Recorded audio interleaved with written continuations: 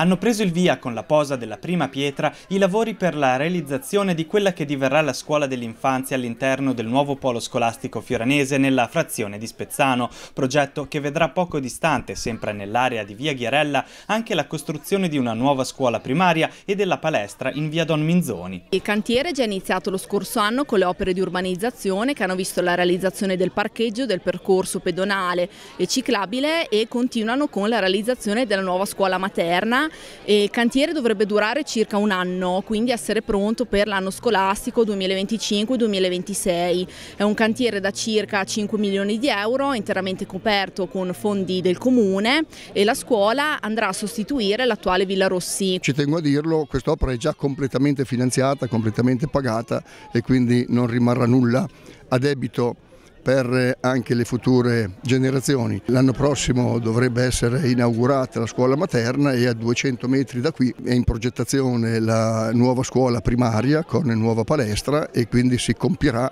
il famoso cosiddetto polo scolastico di Spezzano che sarà un arricchimento per la comunità, in questo caso spezzanese, importante e che durerà per decenni ovviamente. La nuova scuola sarà realizzata nel rispetto delle norme antisismiche ed energetiche, con emissioni e costi quasi azzerati. La struttura sarà all'avanguardia anche rispetto alle più recenti innovazioni didattiche, con spazi aperti e giardini interni. Sarà un edificio immerso nel verde, come vedete, e avrà anche ampi spazi aperti verso l'esterno, proprio perché il messaggio che vorrà veicolare anche una scuola di questo tipo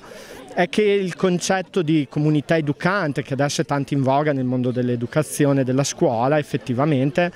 mm, deve avere le giuste declinazioni e le giuste strutture per trovare la migliore applicazione possibile e in questo modo avrà davanti una bella piazza, avrà un bello spazio interno, avrà un grande giardino esterno, ogni classe avrà un proprio giardino e in questo modo farà davvero questa nuova struttura da trade union tra la scuola e la comunità fioranese.